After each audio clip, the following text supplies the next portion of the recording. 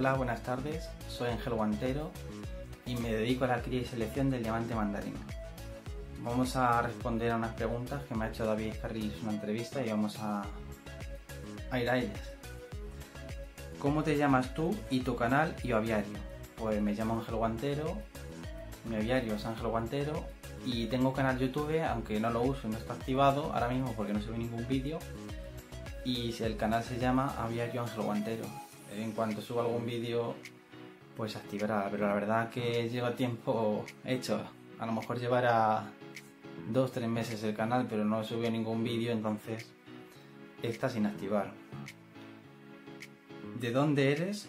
¿Qué tal llevas el clima de tu zona para el cuidado de tus ejemplares?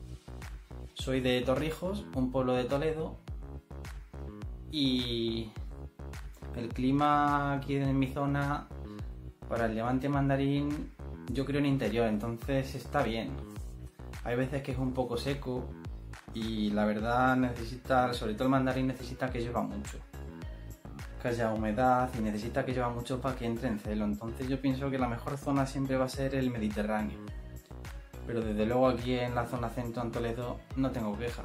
Me cría bastante bien y los pájaros están sanos, bien, perfectamente. Entonces, en ese aspecto no tengo ningún problema.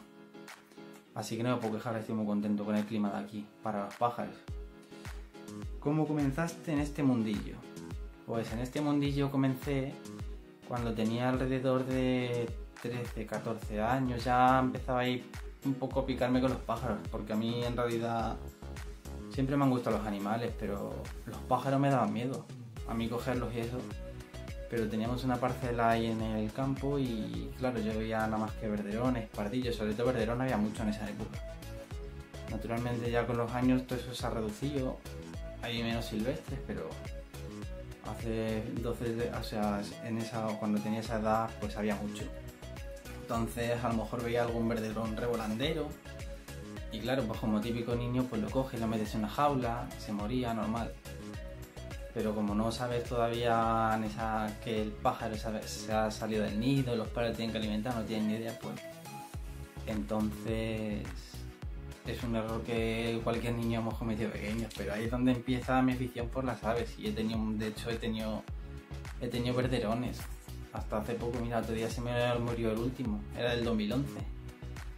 Y, pero mi afición empieza ahí con el pájaro silvestre, sobre todo el verderón, ese es mi pájaro preferido. Ahora mismo no tengo ninguno, pero ese es el que más me gusta. Luego he tenido canarios después, o sea, he tenido silvestres y canarios. Eh, cuando tenía 14, 15 años, tuve mi primera pareja de diamante mandarín. Ya desde ahí no para, ahora mismo tengo 25 años, o sea, han pasado 11 años criando diamante mandarín. Claro, empecé con los de talla pequeña, entonces fui empezando, yo no sabía ni cómo ver las mutaciones, ni nada, ni cómo reaccionaba la verdad que he tenido que aprender sobre la marcha porque ahora eh, en esa época, cuando yo tenía 14, 15 años, no hay las ventajas que hay ahora. Ahora tienes que el WhatsApp, que antes no existía. Hay un montón de grupos de WhatsApp, eh, canales de YouTube. Antes no había cosas para aprender y menos con el diamante mandarín. Había cositas de canarios y muy poco. Y yo pues iba leyendo cosas de canarios y lo iba aplicando al diamante mandarín, sobre todo cosas para criar y eso. Y él, y mezclando es como consiguió muchas cosas. O sea, mezclando me refiero a un plan de alimentación y tal. Y he visto lo que yo ha funcionado para mis pájaros. Luego, igual, el Facebook. Ahora hay grupos de Facebook de Diamante Mandarín. Bueno, eso los hay ya sobre el año 2010, creo que lo sabía. Sí, por ahí, 2011.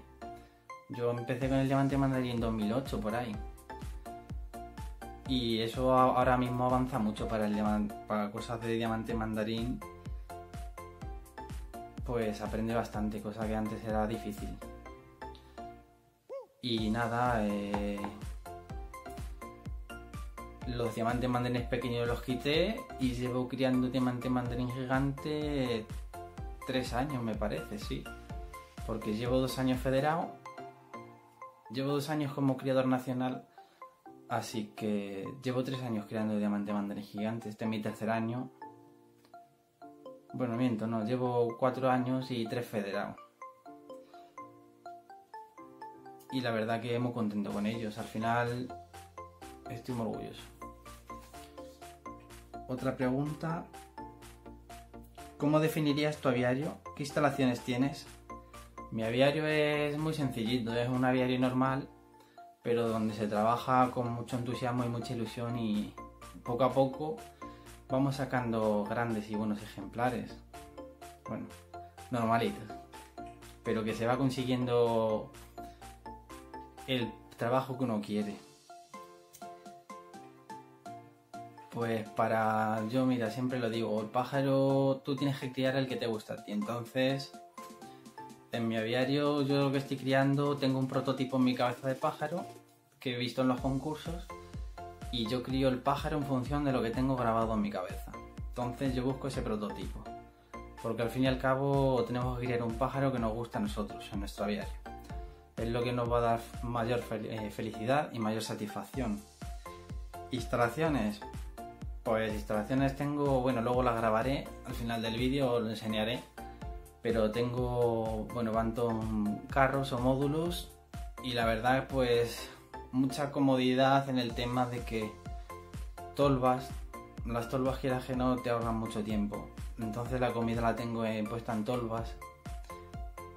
Y el agua, bueno ahora están bebederos, pero lo estoy montando instalación automática y poco a poco lo iré poniendo, además que lo quité la instalación automática, ahora mismo no la tengo funcionando, nada que monté un módulo y no la tengo activada porque en época de cría mejor esas cosas no probarlas. Entonces lo probaré luego ya después que termine la cría y lo pruebo tranquilamente.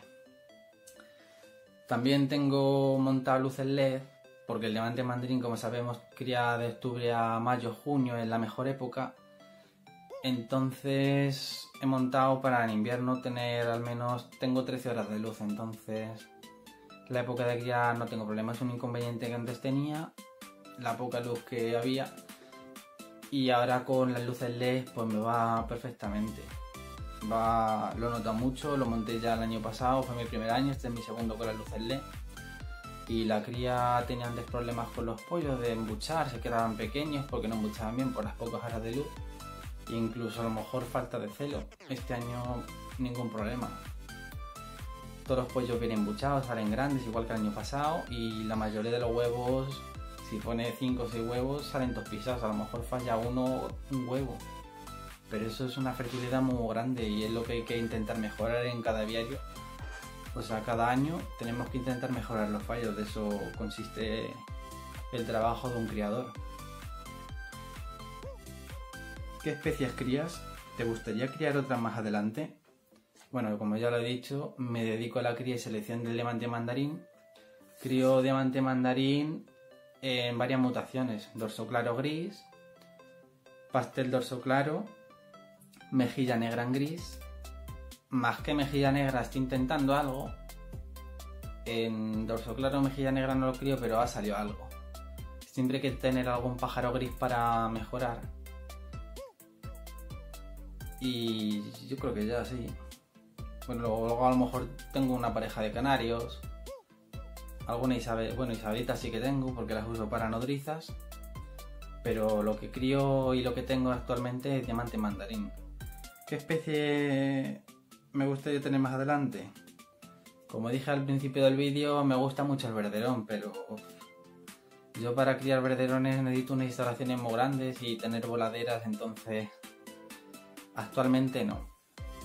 Actualmente crío de, criaré diamante mandarín, aunque en el futuro nunca se sabe. Igual metes una raza de ave nueva. Todo varía mucho con respecto a los años. ¿Te dedicas a concursos? ¿Qué opinas de ellos? Pues efectivamente sí.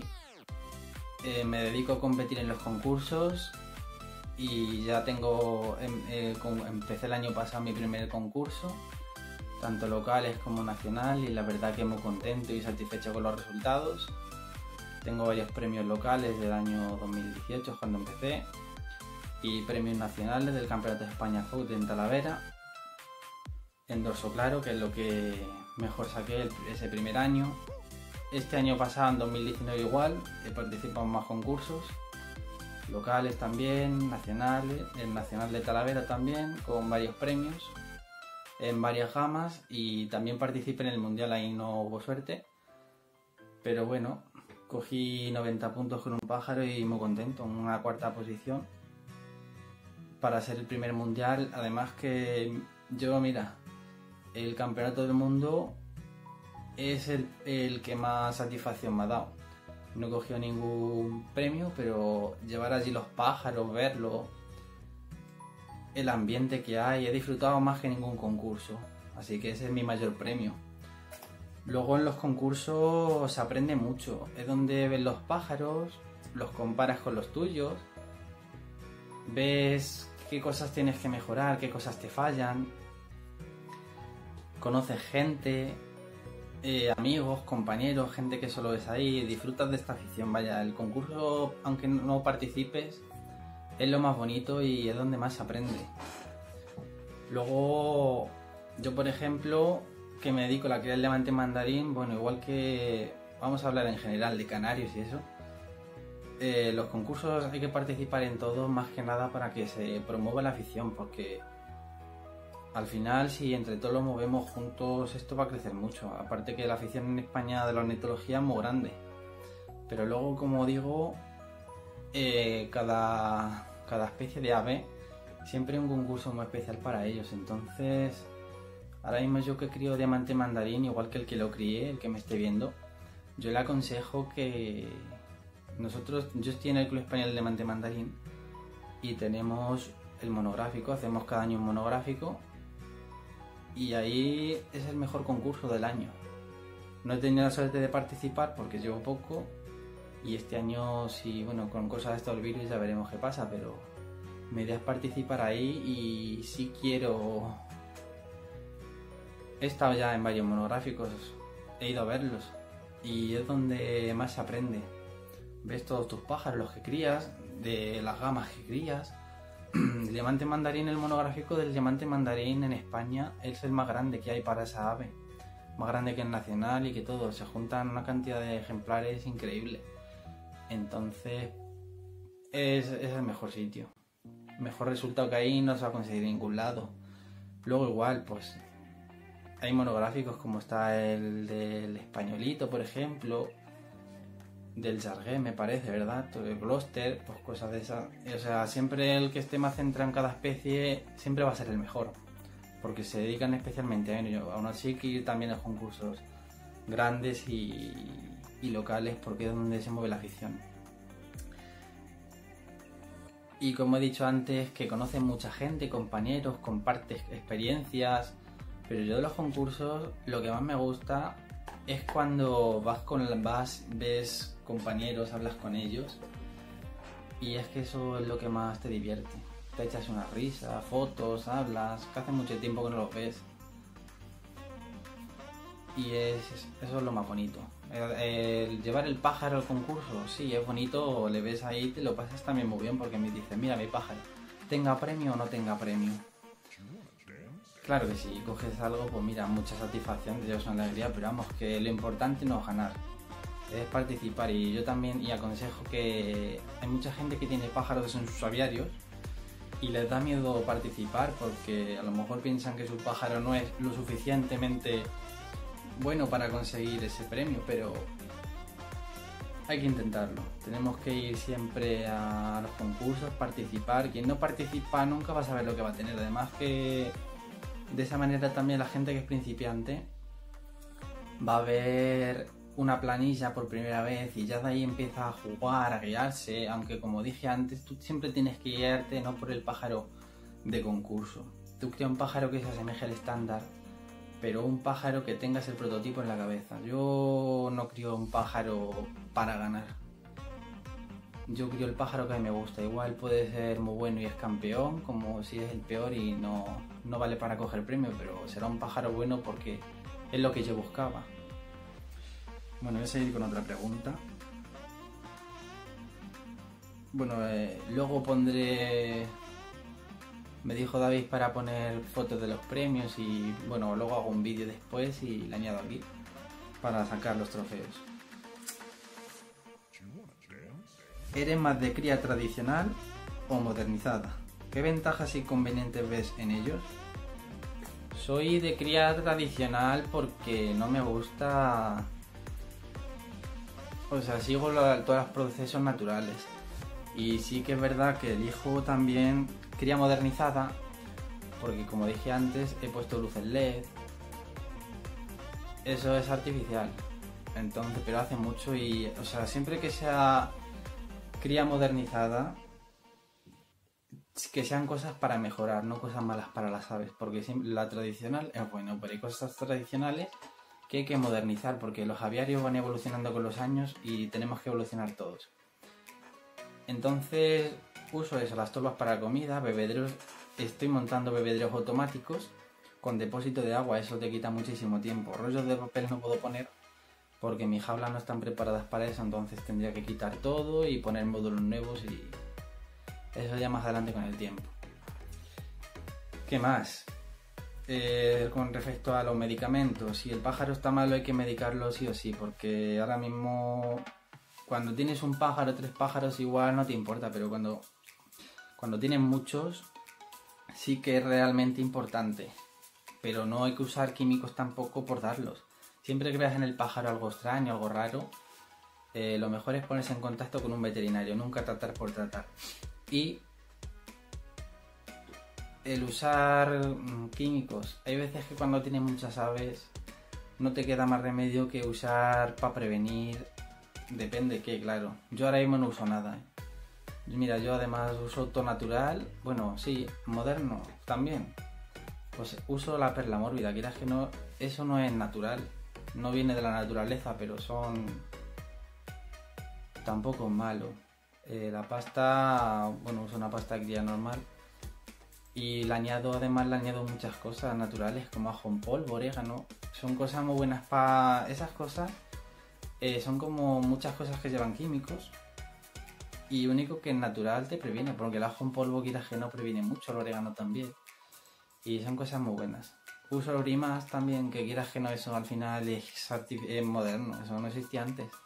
Entonces, lo que digo, hay que seguir una cría, lo que a uno mejor le vaya. Yo sigo una cría tradicional con cosas de cosas naturales, pero la modernizo en el función de mejorar todo con respecto a las aves, siempre que no se las fuerce a nada y no las metamos nada químico ni mediquemos, porque medicar por medicar no es bueno. Además que luego los pájaros salen... Si tú medicas a un pájaro por medicar, ese pájaro se hace inmune a las enfermedades y luego cuando lo quieres tratar no te hace efecto. ¿Qué pasa, por ejemplo, con los canarios?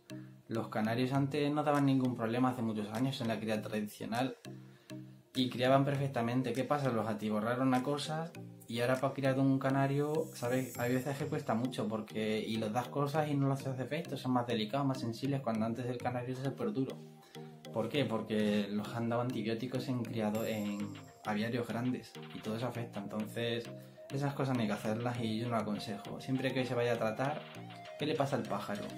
Contactas con un veterinario, si hay que hacer un análisis de hace y él es quien mejor te va a aconsejar y entonces eso es cría modernizada sí porque vas a curar al ave pero le tratas en función de saber qué tiene y para que si imagina que tiene un virus grave que no se que no se contagie todo el aviario porque se te puede echar a perder todo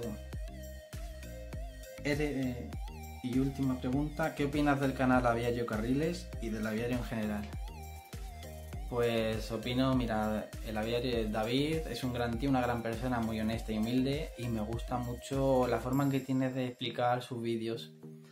Pues yo empecé hace unos años a ver sus vídeos de YouTube y me llamaba mucho la atención en la forma en que lo explica, porque él es una persona que no se guarda nada y me gusta cómo lo hace, porque te va explicando cosa a cosa, paso por paso. Luego su aviario me gusta también mucho el cómo tiene organizar las jaulas de cría. Antes me acuerdo que empezó con las palomas, tenía el diamante mandarín, ahora tiene los Fife Fancy. Y me gusta mucho cómo tiene montadas las jaulas en función para criar, lo veo muy bien así. Me gusta. Y luego la suelta, como es la llama, o sea, el voladero, la voladera eh, está muy bien para soltar los pájaros y que se hagan. Además que tiene parte interna para que se metan, se resguarden y parte exterior para que los den solecito y se muevan y vuelen bien. Pero es eso, que me gusta mucho cómo explica sus vídeos, su canal, además que es lo que llama la atención, la forma en que lo hace una persona y que nunca se guarde nada. Y es una persona muy humilde, muy buena y es una gran persona, así que a mí me gusta mucho. Bueno, grabaré después de esto, bajaré, e iré a grabar al aviario y grabaré también los, los premios, ya que me los pidió. Así que nada, un saludo y gracias por hacerme la entrevista y contar conmigo. Un saludo, David. Hasta luego. Bueno, este es el aviario, del cual ahora mismo estamos en plena época de cría, entonces voy a enseñar un poquito los pájaros, ¿ves? Como veis tengo las torbas, está aquí donde tengo montado del agua, en este carro, y lo demás está todo, vamos, pero tengo puesto bebederos, ahora no tengo funcionando. Y está todo, pues eso, con los bebederos. Tal vez enseñar un poco, mira, aquí tengo las isabelitas, con los pollos. Ahora enseñaré un poco los pollos para que los veáis que están en los nidos. Aquí una pareja incubando. De dorso claro por pastel dorso claro, unas hembras que me quedan para echar a criar.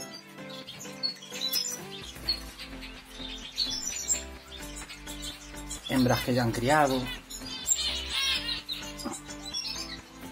Parejas que están incubando o poniendo.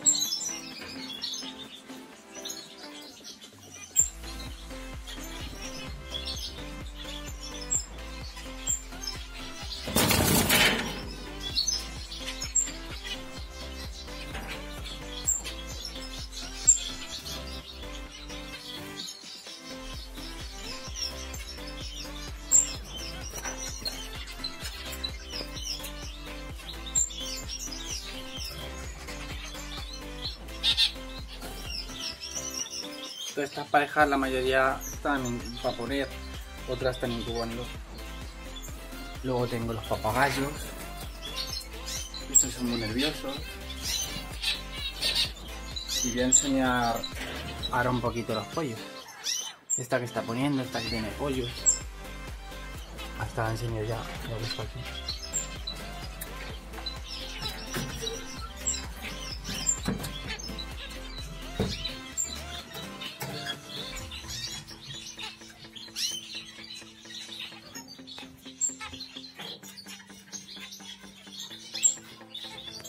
Ahí tiene cuatro pollos.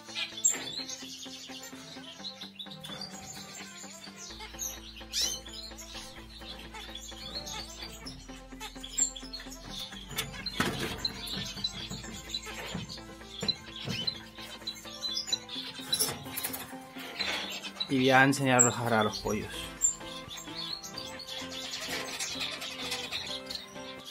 Este es un nido se los ve.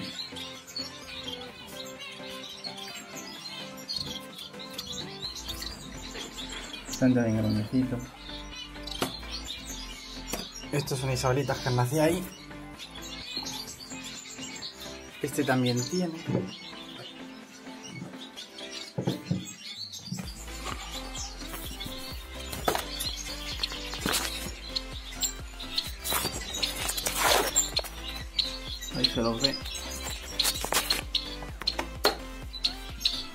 Esta tiene también más pollos.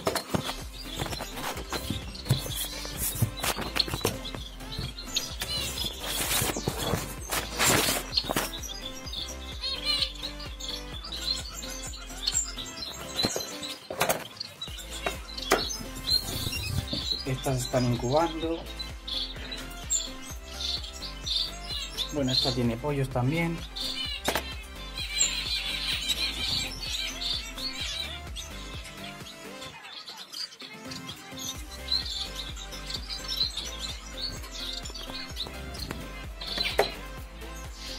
Demás están incubando. Esta tiene dos pajaritos ya que están para despetar en nada. Y luego eh, Bueno, aquí tengo algunas. Estas son dos hembras que hace poco. Dos dorsos, a ver si se a bien. No enfoca este. Ahora. Y entonces tengo aquí estas dos hembritas que tendrán dos, tres, bueno, tres meses por ahí. Y luego estos pollos que desde de hace poco. Vamos, llevan ya un tiempecito.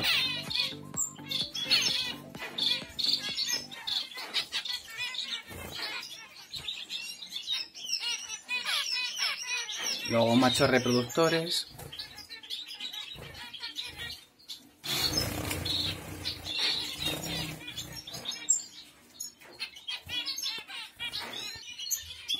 Estos son más nidos, que hay aquí más pollos. Estos ya van más grandes. Aquí hay otros que nacieron hace poco. Bueno, hay una isabelita y un mandarín. Esta tiene dos. Que ya son grandecitos.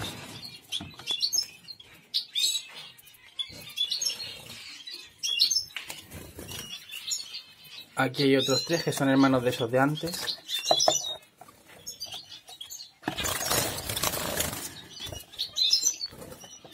No sé qué tal se los verá. Más o menos.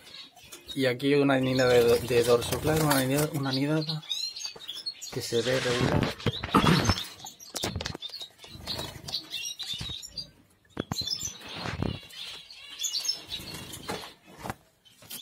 Y aquí que hay pollo mejilla.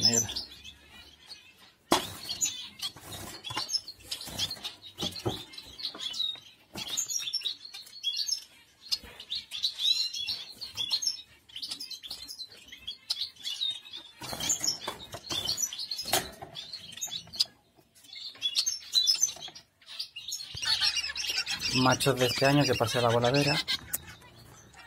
Este ya es más grande y ya lo mete aquí.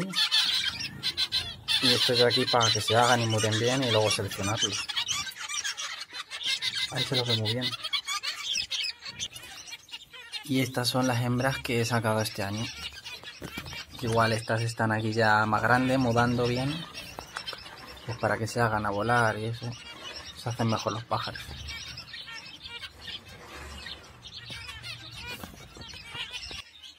Bueno, os enseño estos pájaros.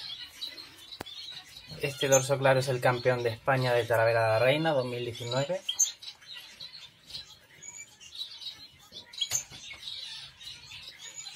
Este mejilla negra en gris, campeón de España en Talavera de la Reina 2019.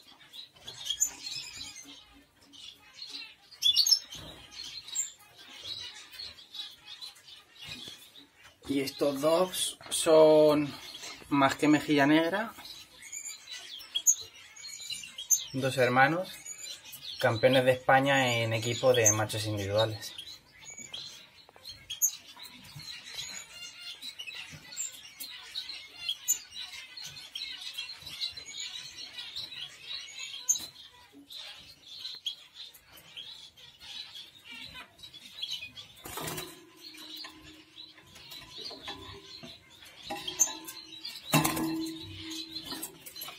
No están bien de pluma los pájaros, pero más o menos para que los veáis.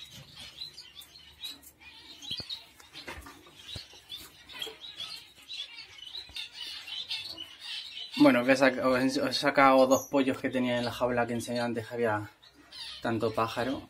Ahí donde tenía la jaula de metro, luego en el aviario dentro. Para que, para que veáis dos pollos que están mudando muy bien y que me gustan mucho. Este es un dorso claro y la verdad que el pájaro apunta a muchas maneras ya de pequeño.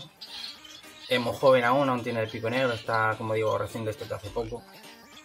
Aún queda mucho para verle muchas cosas al pájaro. Y luego este es un pastel dorso claro. Este está saliendo igual muy bonito el pájaro.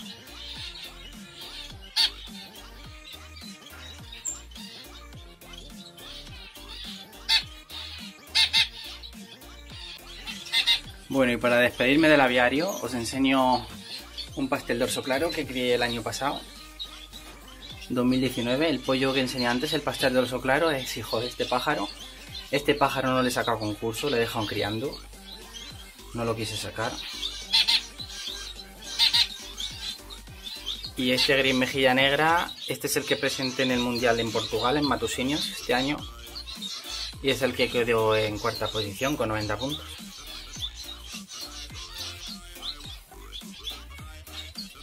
Así que aquí me despido del aviario. Estos son los premios que he conseguido en 2018 y 2019. Voy a explicarlos un poquito, ¿vale? Eh, los primeros que conseguí fueron las dos plumas, oro y plata, de Arroyo Molinos, en Polo Madrid. Eh, o sea, primero y segundo en dorso claro. Después participé en el Campeonato de España por primera vez. Y cogí oro, plata y bronce en dorso claro también. Y ese mismo año concursé en Escalona, un polo de Toledo. Y cogí también primero, segundo y tercero, que son estos premios de aquí. Este es primero, este es segundo y este es tercero. Vamos que lo pone. Único que aquí era. Eh, como digo yo, no había por gamas, cosa que en el otro sí, en la Rayo Molino sí. Único que pone y no pone Y estos son los de Talavera del 2018. Luego en este 2019 he participado en muchos concursos, la verdad. El primero que participé, no sé si sería este. Bueno, este es el Campeonato de España FOE en Colada. Aquí cogí primero, segundo y tercero en Mejilla Negra. Eh, segundo diluido en gris, eso está mal, se equivocaron, es segundo en gris porque el pastel que presenté me le descalificaron, estaba, se equivocaron al apuntarlo, pero bueno, se solucionó, no pasa nada. Eh, cogí primero, segundo y tercero en dorso claro, así cogí 7 siete, premios ahí en Colada, en el Campeonato de España fue. Luego participé en, en Arroyo Molinos también y cogí primero, eh, primero en dorso claro creo. Aquí ya no me acuerdo porque presenté mejillas negras y de todo. Yo creo que quedé primero en mejilla negra, no me acuerdo. Aquí cogí varios oros y varios platas y bronces, o sea, varios premios. Me que claro, dan un, trofeo por cada ese, en general. Que no he querido... Es que tengo los diplomas y por no andar buscándolos, pero bueno, más o menos Aquí presenté dos mejillas negras que de primero y segundo en masque. No, uno en masque, otro en gris. Dorso claro cogí primero y segundo, o segundo y tercero. Sí, y ya está. Esto es el Campeonato de España 2019. Aquí cogí primero, o sea, sí, oro en dorso claro, plata en dorso claro, oro en pastel dorso, claro, oro en mejilla negra, bronce en mejilla negra y oro en equipo de más que mejilla negra. Y ahí las medallas, vamos ahí sale, porque este le tengo marcado. Y luego ya me presenté al mundial, que es el pájaro que enseñé antes. Y nada, pues eso es la participación, pero bueno, lo tengo y quedé en cuarta posición, así que nada, eso es. Mis dos años que llevo participando, pues la verdad que estoy muy contento. Ya este año veremos que... A ver cómo avanza, así que nada. Espero que os haya gustado todo, el vídeo en general. Y nada. Un saludo. Hasta luego aquí nos despedimos, que quería salir Triana, mi ninfa, en el vídeo para despedirse. Y no quería faltar sin despedirse. Di algo, Triana. Di algo, Triana. ¿Ahora te vergüenza? Qué bueno.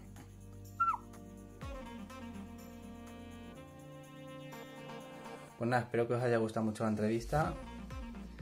Y nos vemos pronto por ahí por los concursos. Hasta luego. Un saludo.